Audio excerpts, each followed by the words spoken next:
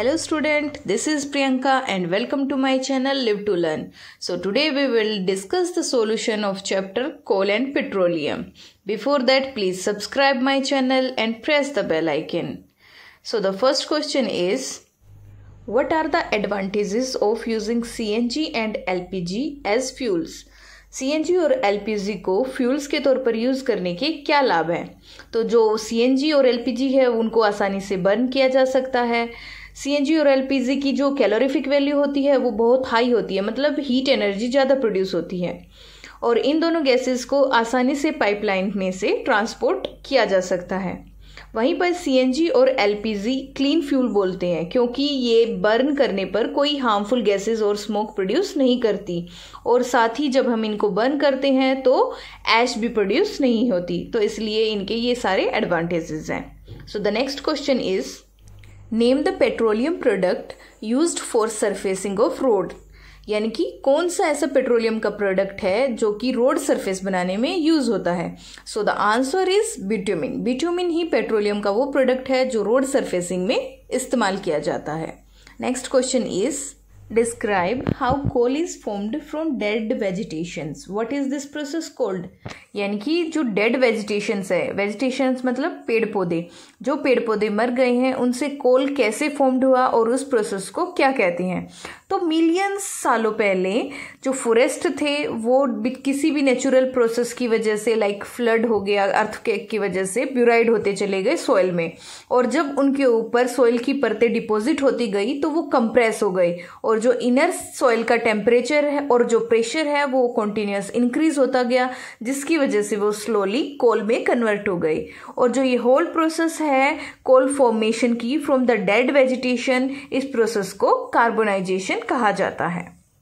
Next question is fill in the blanks a fossil fuels are dash कौन से fossil fuels हैं? तो coal petroleum and natural gases are the fossil fuels b process of separation of different constituent from petroleum is called dash जब petroleum में से उसके सब product को रिफाइन किया जाता है तो उस प्रोसेस को रिफाइनिंग कहा जाता है।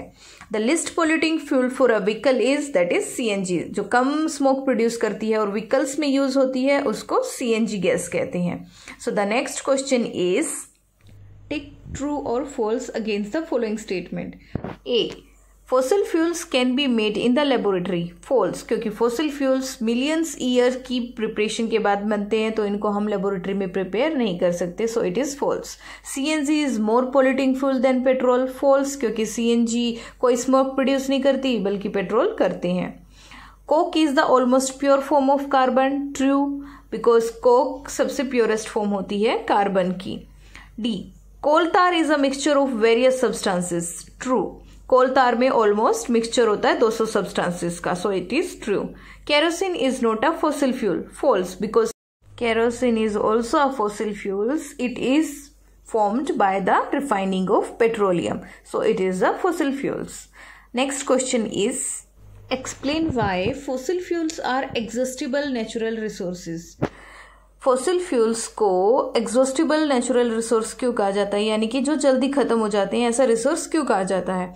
क्योंकि fossil fuels millions of years के बाद फॉर्म्ड होते हैं और नेचर में जो इनकी अमाउंट है, वो लिमिटेड है। अगर हम इनको कॉन्टीन्यूस कंज्यूम करते रहे तो एक टाइम के बाद ख़त्म हो जाएँगे और आसानी से रिप्लेनिश नहीं हो सकते। इसलिए इनको एग्जॉस्टिबल नेचुरल रिसोर्स कहा जाता है। So the next question is describe the characteristics and usages of coke तो कैरेक्टरिस्टिक्स जो कोक की हैं that are coke is tough tough होता है हार्ड होता है पोरस होता है, यानी कि इसमें छेद होते हैं, और ब्लैक इन कलर होता है. And the usages of coke is it is use in the manufacture of steel steel industry में इसको स्टील मैन्युफैक्चर में यूज़ किया जाता है. And it is also use in extraction of metal metals को extract करने में भी कोक का यूज़ होता है। Next one is the explain the process of formation of petroleum petroleum formed कैसे हुआ, उस प्रोसेस को डिस्क्राइब करना है। तो लाखों साल पहले जो समुद्र में रहने वाले ऑर्गेनिजम्स थे, वो डाई हो गए और समुद्र में नीचे दब गए और उनके ऊपर सेंड और क्ले की जो लेयर्स थी, वो डिपॉजिट होती चली गई। और बिकॉज़ ऑफ़ द लेयर्स उनका जो टेम्परेचर था और प्रेशर था, वो इनसाइड द सॉइल इंक्रीज होता गया और जिसकी वजह से जो डेड ऑर्गेनिजम्स थे, वो ट्रांसफ़र हो गए इनटू द पेट्रोलियम और natural gas and the next question is The following table shows the total power shortage in India from 1993 to 1999. Show the data in the form of a graph. Plot shortage percentage for the years on the y-axis and the year on the x-axis. आपको इसमें एक graph show करना है जिसमें power shortage दिखाई हुई है 1993 से 1999 ईयर तक तो जो एक्सिस है उस पर आपको शॉर्टेज परसेंटेज को लिखना है और एक्स एक्सिस पे ईयर्स को डिनोट करना है। जैसे इसमें आपको डायग्राम में दिखाया हुआ है, जो ईयर्स हैं वो एक्स एक्सिस पे डिनोट किए गए हैं और जो पावर शॉर्टेज है वो वाई एक्सिस पे डिनोट करके बार ग्राफ को ड्रॉ किया गया है। तो इस तरह से आप इसको ड्रॉ कर सकते हो।